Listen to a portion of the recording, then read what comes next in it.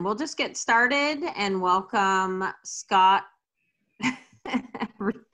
Scott Lewins from University of Vermont. I'm reading I'm reading these chats as they pop up. Sorry. um, and Scott's going to be talking about integrated pest management today. So Scott, I'm just going to let you go for it. Because Heather mentioned, I'm going to be talking about integrated pest management in hemp. Um, my name is Scott Lewins. I'm an entomology extension educator with the Northwest Crops and Soils team. Uh, I am super jazzed about this presentation despite all of the technical difficulties. Um, for those of you who are not entomologists, um, right now is the virtual um, conference of the Entomological Society of America. And actually right now in that virtual conference is a session on um, hemp pest management. And So all morning long, I was brushing up on my um, the latest um, integrated pest management information and frantically editing uh, this presentation to include some of those updates. So um, can't seem to, there we go. I will talk about identifying and, and managing those pests in hemp uh, here in the Northeast. Uh, I'll spend most of my time um, focusing on the, mo the most common and most uh, damaging uh, insects and arthropods but we'll also um, talk about some of the good guys out there um, because that's important to know um, uh, when you're thinking about your management strategies. And then also talk about the, common diseases uh, in, in hemp, uh, at least in the Northeast. Um, and go on to talk about just some real basic integrated pest management in hemp, um, kind of the economics that underpin and talk about the various management strategies and some of the resources available to Northeastern growers. So by far the most common uh, insect out there in our hemp fields are cannabis aphids. Um, there are other aphids that you can find in your hemp.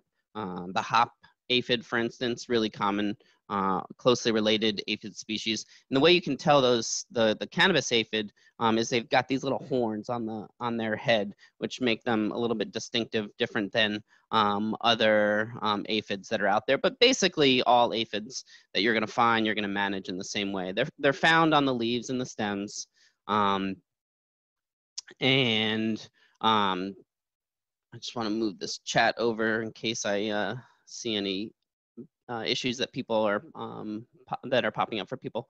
Um, so the the aphids they have winged and wingless forms. Um, the mothers uh, actually give birth to pregnant daughters. Uh, kind of this crazy, like blow your mind.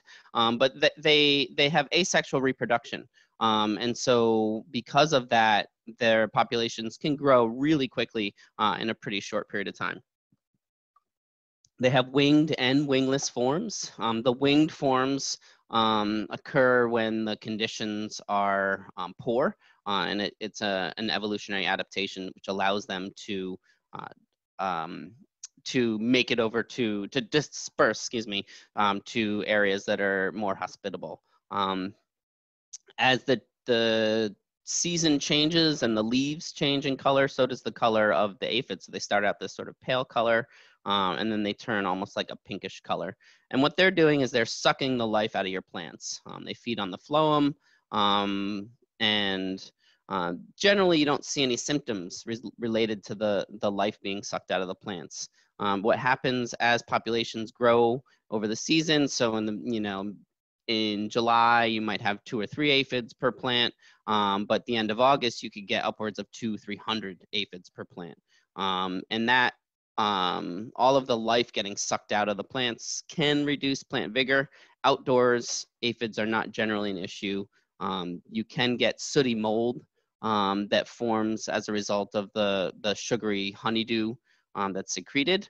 But generally, again, outdoor plants are not susceptible. Indoor is a whole other story. You can, you can have complete crop failures. Um, but we're really focusing on outdoor production, uh, or at least I'm focusing on outdoor production for this Uh, two-spotted spider mites, also really common uh, pest in Vermont.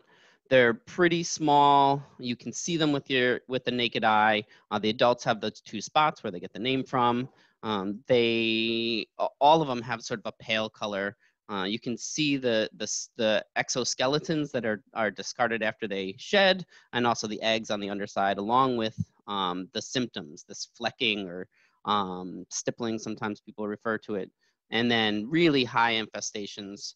Um, you can you can start to see that webbing where they get their name. Just like spiders, they can spin webs and then they live underneath that webbing, protected from natural enemies, protected from uh, insecticides uh, and the like hot, dry weather is when those populations really explode. Hemp russet mite, to our knowledge, is not present in Vermont, uh, and it's a good thing. Uh, I was actually just right before this watching a presentation by Whitney Crenshaw out in Colorado um, talking about hemp russet mite management, and it's really, uh, really troublesome. And so people are, are on the lookout for hemp russet mite, but again, as far as I know, hasn't been found in Vermont. Uh, I did talk to a grower who believes they had it on some um, plants that they got from the south last year, um, but didn't see any. Uh, sorry, a grower in New York, if, if I didn't mention that, um, who who thought maybe they had them on their um, plants brought up from North Carolina, um, but didn't see any um, any this year. So that's a that's a good good news, right? So these guys you cannot see with the um, you cannot see with the naked eye. You do need magnification. Um, but what you can see is the, the symptoms. Um, they, the, the feeding um, can lead to a bronze color and sometimes a slight upward uh, rolling or curling called tacoing. Uh, unfortunately, tacoing is not a, a, a diagnostic characteristic. So you can have some some phenotypes actually tacoing is is normal, and then in other cases the feeding of of hemp russet mite um, doesn't cause that. So really problematic, but again, we don't have to deal with that um, yet in Vermont. European corn borer, um, as the name suggests, these guys prefer crops like corn. Hemp is not preferred. Um, but if you have a scenario where there's not corn in the ground, um, like we had uh, was it last year, 2019 growing season was pretty bad uh, people couldn't get their corn planted in time. And so the first flight of European corn borers, um, the moths were looking around for a suitable host plant, uh, and there was uh, plenty of hemp in the landscape. Um, so, and that first generation, that first flight, I should say, um, the moths will lay their eggs on the stalks, and those stalks can lodge. Um, in most areas around here, you can get two generations. So if you get enough degree day accumulation, you get a second flight um, at the end of summer. And that second flight, those caterpillars um, that result from the second flight are the ones that will burrow into um, buds and cause damage like this picture on the right. Um, and you get unmarketable flower. Japanese beetle. Um, these guys will feed on you know hundreds of host plants uh, in our area. Thankfully, hemp is not really favored. Um, the, the grubs are those little C-shaped grubs that, that live underground chewing on plant roots, um, but there's not a lot of hemp roots um, when the, the larvae are present in the soil. Um, the most patriotic of all pests, uh, Japanese beetle, emerges right around 4th of July. The adults feed for about a month, uh, and they have that characteristic skeletonization uh, of leaves um, and then they're pretty much gone. So they, they, have, they are very visible, their damage is very visible, um, but they don't really do much in terms of uh, effect on yield. Uh, flea beetles, these, there are multiple species of flea beetles. Um, they all have this same characteristic shot hole damage on the plants, um, just like Japanese beetles, the larvae are in the ground feeding on plant roots. The damage, just like Japanese beetles, uh, from the leaf, uh, sorry, from the, the larval feeding underground is really not significant. Um, so when you have large populations of, of flea beetles on really young plants. And so um, that the first generation of adults, so they overwinter as adults and then emerge out in June and early July. And so you've, if you've got seedlings um, or transplants that are young at the same time as flea beetles, that's where you have a problem. Otherwise, you don't really have a problem. There's a second larval generation where the Jap- where the flea beetles um, emerge as adults towards the end of the summer, but at that point the plants are large enough that any damage is not really going to impact them. there's a bunch of leafhoppers that uh, you can find on hemp, but potato leafhopper is by far the most common. Uh, so all leafhoppers um, have this sort of same elongate body. Um, the nymphs sort of scuttle around on the underside of the leaf. The adults have um, wings um, and they can jump and fly, but the the the larvae, excuse me, the nymphs uh, cannot fly. So these guys, at least the the potato leafhoppers, are blown in on wind currents in early July, uh, sorry, early June, and they'll have multiple generations, and they also suck the life out of your plants. Um, the feeding re results in cell death, so they jam their mouth parts in and they they release a um, saliva that that breaks down the cells, and so you see that hopper burn um, which is as a result of the feeding. Once you've seen that, um, the damage is already done. Um, but again, thankfully, these guys don't generally prefer hemp. Um, and so although you can see the damage on hemp, it's, it's um, not as bad as something like a soybean or something like that. Thrips, again, multiple species of thrips, not as much of a problem outdoors, more of an indoor problem, but it's worth mentioning them. They also have these small elongate bodies, but even smaller than, um, than leafhoppers. Um, their feeding is that uh, uh, creates that sort of streaking color, and then you also see the black spots. Um, the black spots are actually a as a result of the, the feces. Um, these guys have multiple generations um, and really all insects their their development is is um, temperature dependent um, and so thrips um, particularly when the temperature is nice and warm uh, those multiple generations can can build up over time. Uh, lygus bug there's multiple species of lygus bug tarnished plant plant bug being one of them. Uh, i mentioned this uh, only because it's it's a really a more serious problem for uh, grain hemp. It's not as much of a problem at all for um, for hemp if you're growing just for flower. Um, but these guys, like potato leafhoppers, have um, piercing and sucking mouth parts. They suck the life out of the plant, but they like to focus on younger tissues, um, particularly the developing flowers and developing seeds. And so you'll see these um, sort of oval shaped people sometimes mistake them for beetles, um, but their their wings are a little bit different than beetles. They actually have a half membranous, half hard um, front wing. So that's how you know it's a tarnished plant bug. Um, and they again, really, it's only a problem if you're if you're growing for grain, so your oilseed crops. Because what happens is when they jam their mouth parts into the into the developing flower um, and developing seed, that distorts the the development um, and can lead to abortion of the seeds or deformed seeds.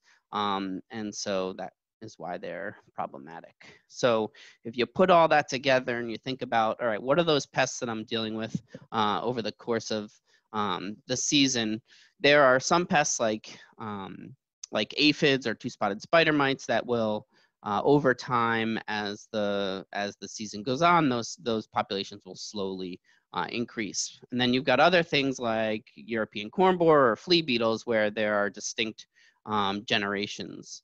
Uh, and then other species like potato leafhopper um, where there are multiple generations um, that occur throughout the season. Uh, and again, hemp russet mite to our knowledge is not here, so that's why I just have it as sort of an asterisk. It's important not to just know the bad guys out there, but to also know um, those good guys, right? So lacewings um, are great. There's a picture up here on the top left of the adults, but it's the the larvae that have those big honking mouth parts that um, that can eat quite a few aphids uh, in one sitting.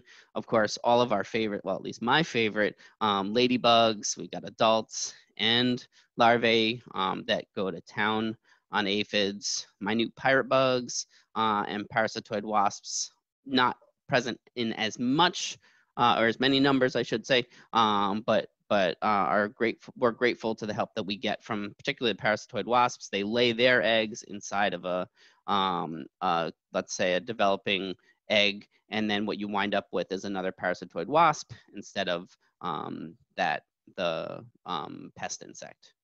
A um, couple others I'll just quickly mention. Spider mite destroyers, we'll come back to those guys. Um, they're specialists. Um, and predatory mites, there's a bunch of species of predatory mites that, that um, you can purchase. Uh, hoverflies are great. They've got predatory maggots that are just aphid um, eating machines. Uh, and a couple others that are generalist predators, spiders, um, stink bugs, uh, all good things. So it's really important to understand not just the bad out there, but the good, because again, that could impact your management decisions. Uh, I am an entomologist, but I, I, do have to talk about some of those um, diseases that are really problematic um, in, in hemp, not just insects all, all afternoon. So uh, gray mold or botrytis, um, these guys are, um, this is probably the most common um, pathogen in hemp in the Northeast. Um, those, the, the gray part of the gray mold, those are asexual spores or conidia uh, and they form on the top of the uh, conidia So that's what you're looking when you looking at when you see the the gray mold. And so those conidia, um, conidia, excuse me, land on a on a leaf surface, and then they germinate um, on that surface. They infect the cells and they kill the cells, and then um, and invade the tissue, and then you get that so, um, that rot color. Uh, sorry, that rotting tissue underneath um, where those cells had died. It's it's particularly problematic. Botrytis is particularly problematic because uh, in some cases, uh, if the conditions are not favorable for um, for growth, they can go into this sort of suspended animation, this special um, structure that that forms that they can overwinter um, or get through inhospitable conditions, whether they're in living or dead plant tissue or soil um, it doesn't matter. And so that's why it's challenging because you don't need the live host. Um, and so and so it's going to be things like sanitation, um, removing um, all plant material, um, and rotations are really really important for botrytis because of that that characteristic. Um, botrytis is worse when the humidity is high and air um, is not moving around. So providing adequate spacing uh, is really really crucial. And you can you can scout the flower buds as they mature you know end of august beginning of september uh, and you really want to get rid of any plant debris as soon as possible uh, infected plant debris as soon as possible. Powdery mildew the other most common um, disease for for hemp at least in our area um, powdery mildew is less likely to survive without a host, although I was reading something recently that said that, that, it too can produce specialized structures to sort of survive um, during um, uh, inhospitable uh, periods, um, but not as much as, as botrytis. Um, and so the, that white, what the quote unquote powder, um, those actually um, strings of, of spores. And those spores can be carried by the wind. Um, so um, wind, uh, sorry, airflow is really important um, because is, is, if you've got decent airflow, um, those spores that, that land on the surface of the, the leaf are not gonna uh, get a chance to, to infect. Um, these guys, uh, the, powdery mildew um, pathogen is favored by relatively moderate temperature and high humidity. So obviously it's a bigger issue indoors. Um, and it sounds like there are at least some varieties of hemp that um, may be coming down the road that are that are um, resistant to powdery mildew. So uh, it's important whenever possible to find uh, to to grow varieties that that might be resistant. So in the this is what that might look like in the field. Um, say the end of July, you've got um, these leaves, and you'll start to see this little bit of um, you know, it looks almost like dust, uh, but it's it's definitely distinct patches. Um, whereas you know, if it was just like if your if your hemp's along a dirt road, your, your entire leaf might be covered with dust. Here, there's these little circles of dust, um, and that dust is those again those chains of uh, of mycelium and the end of the season you've got a big problem on your hand um, you ultimately wind up with a with a failed crop if it gets really really bad uh, sclerotinia or white mold um, is another one that's pretty common um, this uh, it, it, I think Heather mentioned this last time is particularly important um, if you if you're thinking about rotations, because this guy, the, the pathogen can survive in the soil for, for multiple years. Um, and they also, um, the same pathogen um, can attack multiple broadleaf crops and weeds. Um, so um, soybeans and vegetable crops, uh, it's the same pathogen. Whereas with something like powdery mildew, that pathogen that's causing powdery mildew in um, in hemp is not the same pathogen that's causing powdery mildew in say um, pumpkins or something like that. So um, for for sclerotinia, it's really important to rotate non-host crops, um, things like things that are grasses, cereals, um, corn, that sort of thing, uh, and then also um, weed suppression is really important because the, the pathogen can survive on on broadleaf uh, weeds that might be in the field. Uh, there are a bunch of leaf spots that uh, affect hemp. Uh, septoria leaf spot, to my knowledge, is the most common uh, that we deal with. It's really common outdoors, um, more so than indoors. It's really important um, to think about splashing. If you've got, so in the case of septoria, if you've got a plastic mulch down, you can avoid some of the splash of the soil back up on the plant, and that's really helpful. Um, and also destroying effective um, affected excuse me plant debris at the end of the season uh, is is important for for septoria because um, the the pathogen can survive on on alternative hosts. I think Heather mentioned that uh, last week as well. Um, just one thing to think about for indoor growing, uh, if you're growing up your seedlings or or um, or clones. Um, Pythium root rot is a common problem indoors. Um, really common, you see the outer cortex of the of the roof sort of slough off. Um, that's a really common uh, diagnostic character. Um, so it's an issue for seedlings and transplants, particularly because that that pathogen can cause damping off. Um, and so you you um, want to be really important. Uh, sanitation is really important uh, managing for this one. Um, so that you don't bring uh, disease plants out into the into the field. All right, so really quickly, um, just go over the basics of, of integrated pest management. Um, there's a couple of terms um, that, that it's important to think about. So there's injury, that's the, the, the physical harm or the destruction that's caused by the um, pest or, or the um, activities of the pest, right? And then that's, and then that's different than damage, right? Damage is, is the actual monetary loss of um, as a result of the the injury. And so, really important two questions to think about is um, how much loss is the pest actually causing, uh, and how much will it cost to control? Um, take the example of the Japanese beetle. You're, you're, um, you see the Japanese beetle feeding. Um, there's a lot of plant material that's being removed.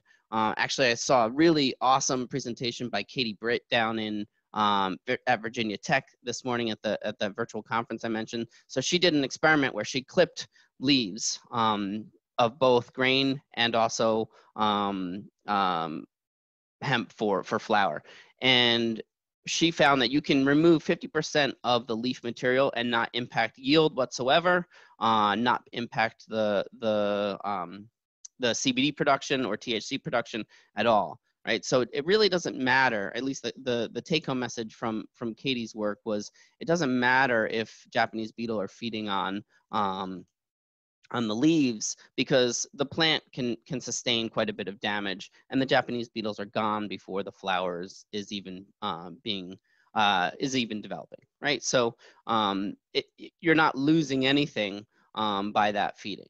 Now, if you are losing money, then then really want to think about how much money you're actually losing. So uh, let's think for a moment about um, this hypothetical pest population. Um, you've got on the right-hand side, got this little graph right here. Um, on the x-axis is time, and on the y-axis is the is the population density of this hypothetical pest. Uh, it's important to consider two population levels. Um, the economic injury level, um, that is um, when the cost to control is equal to the amount of economic damage cost caused by the pet, pest. Also, you want to think about um, if you have that pest, you have to manage it with an insecticide. There are costs associated um, with those management actions. And so if those costs are less than you're potentially losing, uh, then it makes economic ses- sense to take those actions, right? Uh, if if you take those actions and it often takes a little bit of time in between what you did uh, and receiving the benefit of what you did. And so that's where you have the economic threshold, which is set beneath the economic injury level. You want to take action before you're actually um, standing to lose any money. Now, this is a essentially an economic model, and we don't have um, the we don't have thresholds established for hemp. But it's important to think about this the the the same framework, even if we don't have those established thresholds. Because if you feel like you're going to be losing money, again, it's worth taking action. Um, you want to just make sure that you're aware that any of the actions that you might be taking can have unintended consequences right? So that's why we want to think about all of the things that you can do uh, before taking any sort of um, you know chemical approach. Um, that's essentially the basics of integrated pest management. Um, in integrated pest management the focus is not eradication. It's you're understanding that the pests are going to be there plan for them to be there and um, do the appropriate things uh, to mitigate losses. Um, so there's really a strong emphasis on monitoring. Um, that's why I spent the first half of this presentation on what those pests are, because you have to understand what is out there. Then you have to go out, see if they're out there. Um, really, there's a strong emphasis on proactive um, strategies. So things that you can do ahead of time uh, to, to mitigate potential losses. Um, things that you might do yourself, what we call cultural controls, mechanical controls, um, biological controls that you can either release um, or benefit if they're naturally occurring.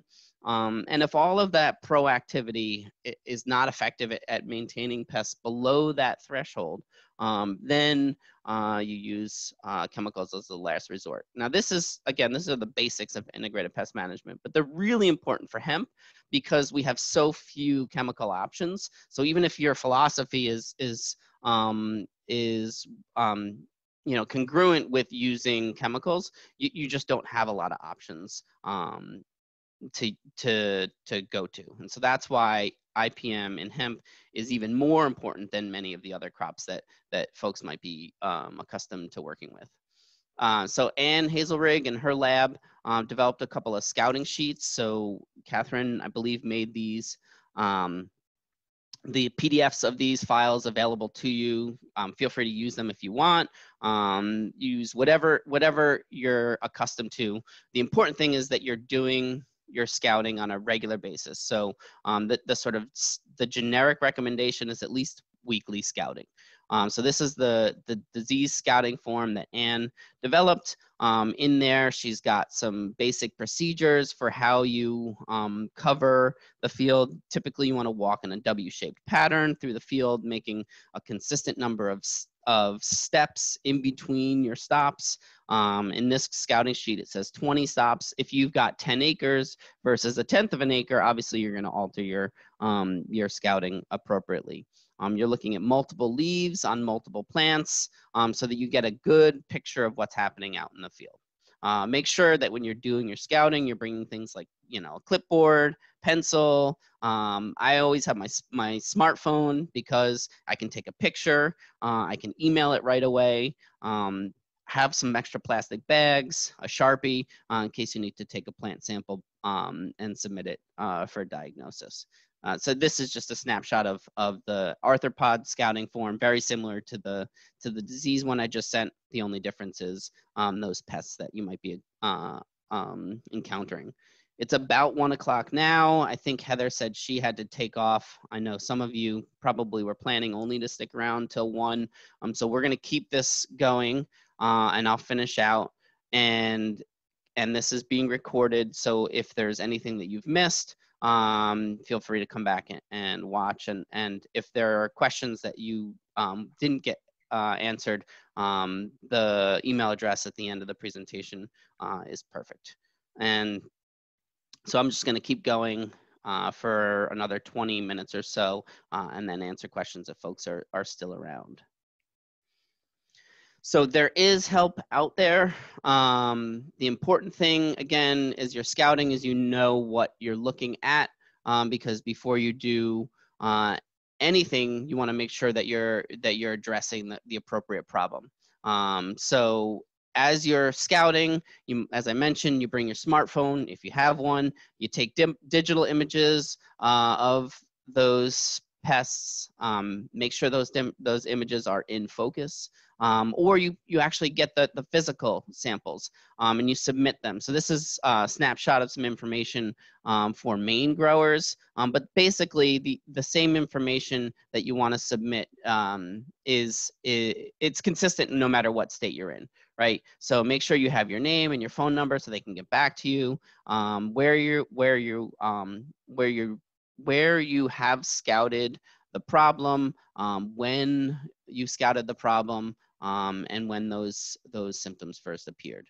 Um, and so again, this uh, information is available through the e-extension website for this week's material. So I'm going to go through the next couple of slides pretty quickly, but I did want to point out that that most states in our region have uh, a facility that that can accept um, disease and insect um, uh, samples.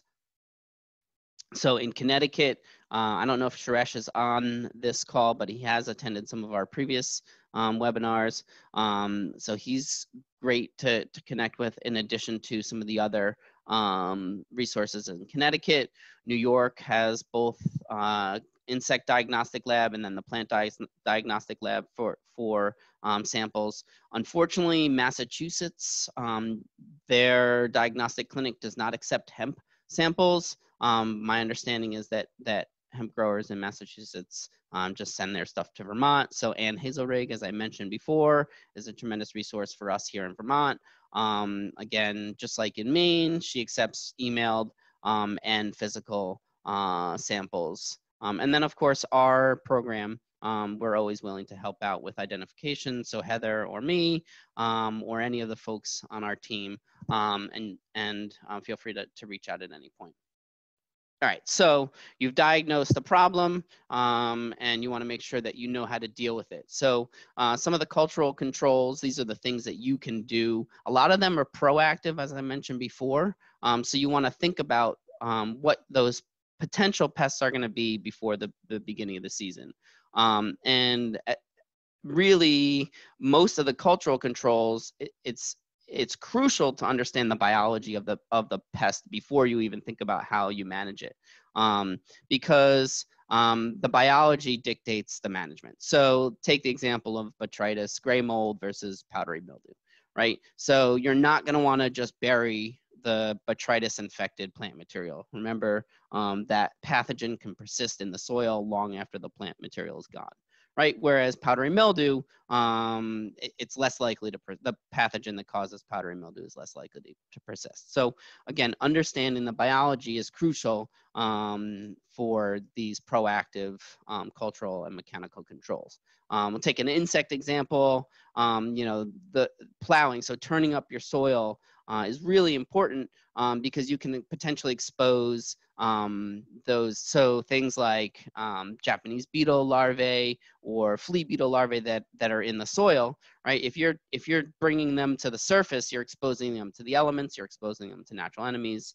Um, and so again, understanding um, what pests you have, their biology um, can help dictate those proactive um, strategies um, before before the season even starts.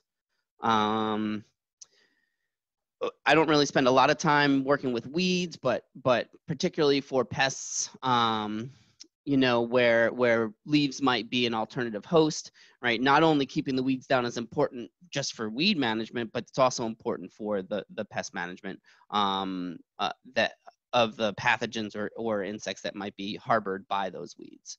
Um, and so again, that's why you know we'll put a, a an extra an extra plug-in for weed management on that one. Uh, in some cases, adjacent trap crops can be effective. Um, take the potato leafhopper example.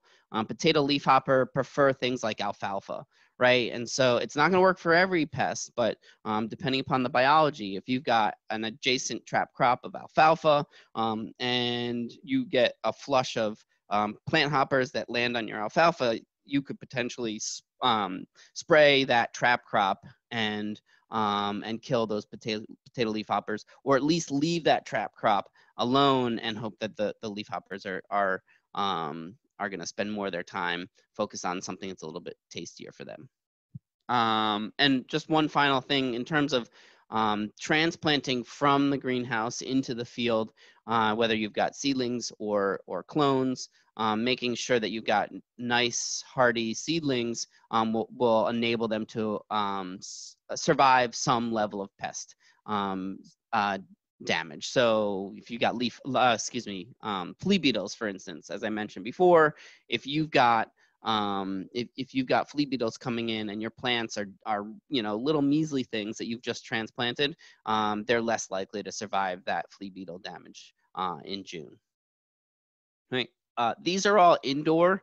Uh, again, the focus of, of what I'm talking about is outdoor, um, but but a lot of a lot of outdoor production, as I mentioned, if you're dealing with seedlings or clones, starts indoors, right? So again, these are all sort of common, um, generic indoor um, cultural controls. Um, a lot of, you know, thinking about sanitation, you know, if you've got um, Pythium that you're worried about, making sure that your surfaces are clean. Um, you know, if you've got a lot of the fungal pathogens where um, where temperature and humidity is important, you know, lowering the pH, excuse me, lowering the, the relative humidity and bringing the temperature up a little bit, help dry things off um, providing adequate spacing. Again, these are all sort of generic indoor um, um, strategies for, for minimizing um, pests um, before they then go out to outside. You don't want to be bringing problems out into your fields.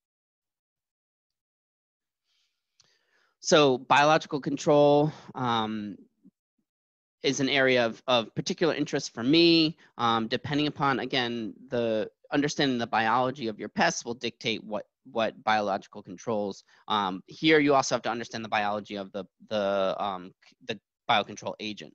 So parasitoids like a trichogramma, um, great for lepidopteran, uh, caterpillar pests. These guys um, lay their, I should say gals, lay their eggs inside of a caterpillar egg. And so instead of a European corn borer hatching out, um, you get a, another um, parasitoid wasps. They're great. Um, aphid, aphid midges, Aphidoletes, um, they just go to town on aphids. Um, the predatory mite, is great for spider mites. Uh, another predatory mite, Stratiolaelaps. Um, I, I haven't tried this myself. I've been assured that these are great for, for chronic spider mite problems. Um, the, and the reason being is they, the, um, the predatory mite will overwinter in the soil. Uh, and so then you could potentially get lasting control from them. Uh, and they also will control a lot of other soil um, pests as well. And so um, this is something that I think has is an area of um, potential um, for sure. Um, again, because of that lasting control potential, and also the the fact that it, it's multiple pests. Um, spider mite destroyers are great. um, these are naturally occurring. Um, they are a little, actually, a ladybug that specializes on spider mites. Um, you can buy them, uh, but they're, like I said, they're also naturally occurring. Um, so one of the questions I always get is, what you know, where can I get these guys? And I'm not, um, I'm not, I'm not promoting any of these, but these are two of the, the probably the widely, uh, used um, sources. So our sort of quote unquote local supplier. Um, Carol Glenister is the, the entomologist at IPM Labs out in, in New York. Um, they're great. A lot of Vermont growers work with them. The sort of big organic, if you will, is, is Arbico. Um, I think they're out in California. Um, but again, a lot of different suppliers. Um, and really what I'm most interested in is promoting naturally occurring predators. So the, rather than paying money and sometimes a lot of money um, for biocontrol agents and not being assured that they're actually going to um, stick around when, when they get here, um, if you have ladybugs or you have hoverflies or lacewings that are that are already in your fields, why not just do things that you can um, to encourage them? So um, providing alternative food sources. So a lot of parasitoid wasps, the adults, um, their survival and and fecundity, how many eggs they can lay.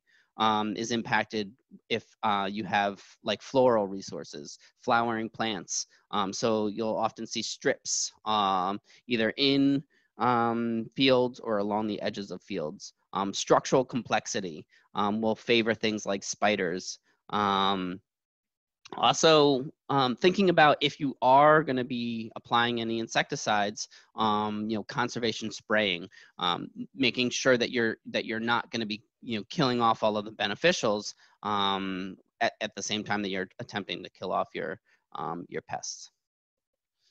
Uh, so I am a certified applicator in Vermont. I can't really say things about other states, so I, I, I, am beholden to the law. And remember, the label is the law. So the most important thing, whatever state you're in, is you make sure you know that you're following the state um, um, laws. And so there are a couple of, of websites that I like using.